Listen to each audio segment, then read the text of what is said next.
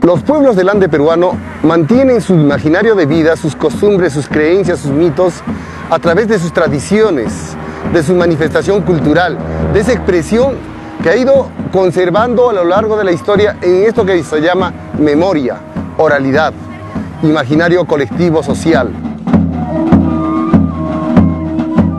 La sociedad en los pueblos se construye a través de milenios y la cultura tahuantinsuyiana ha desarrollado economía, ha desarrollado política, ha desarrollado religión, religiosidad y en su religiosidad la Pachamama es su madre y a la madre se le ama, se le respeta, porque nos da la vida y nos dio la vida.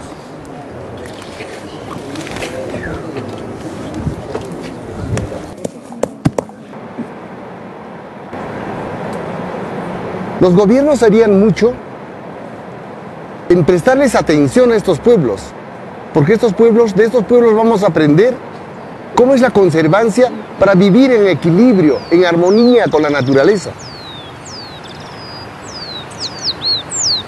Yo como cineasta andino originario, lo que hago es transmitir los saberes de estas poblaciones del cual soy parte.